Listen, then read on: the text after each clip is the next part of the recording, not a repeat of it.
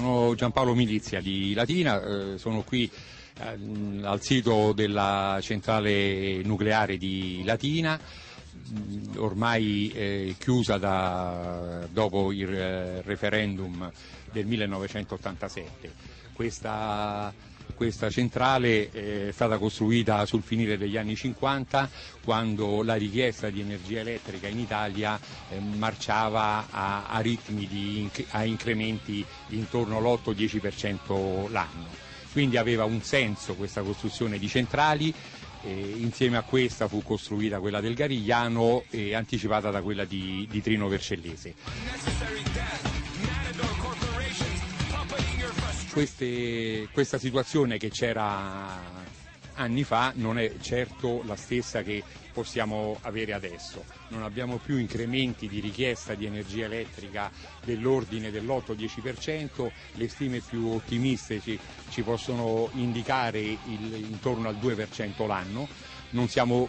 più in, un, in, una fase di richiesta eh, notevole di energia elettrica, ma quello che può essere assicurato dalle fonti alternative quali l'eolico e il fotovoltaico con i dati a disposizione degli ultimi anni riescono eh, benissimo a compensare quello, quello che è l'aumento eh, leggero e, e mh, diciamo di qualche punto percentuale annuo di, appunto, di, di energia elettrica.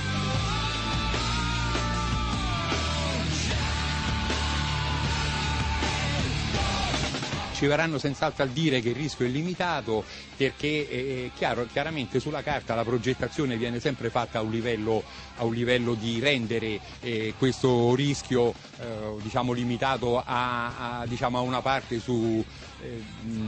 milioni o, comunque dell'ordine di 10 alla sesta di, di milioni o miliardi.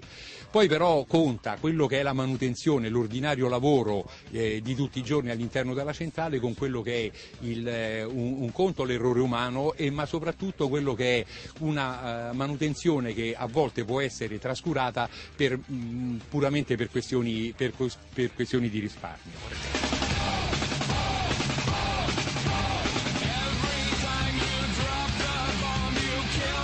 Qui eh, secondo me eh, passerà, passerà, come minimo un decennio prima che, che, si possa muovere qualche cosa se si riuscirà a, a realizzare qualcosa.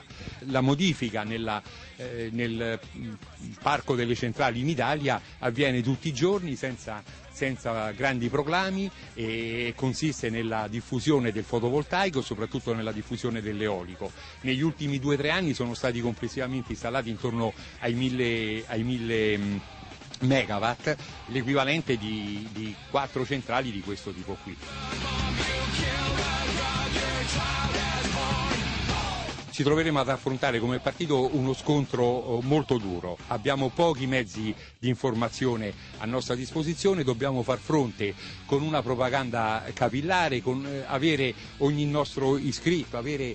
quei pochi elementi fondamentali per poter controbattere quelle, eh, quei punti che eh, ci verranno continuamente riproposti e cioè un, un, il, lo scarso eh, costo, il più basso costo del kilowattora o, eh, o, ehm, e le emissioni eh, zero, che tra l'altro emissioni zero è anche l'eolico e anche il fotovoltaico. È un momento proprio, è un'occasione che abbiamo proprio di sconto di prospettive di come noi vogliamo una società eh, che non sia basata su un aumento senza alcun controllo delle, delle fonti eh,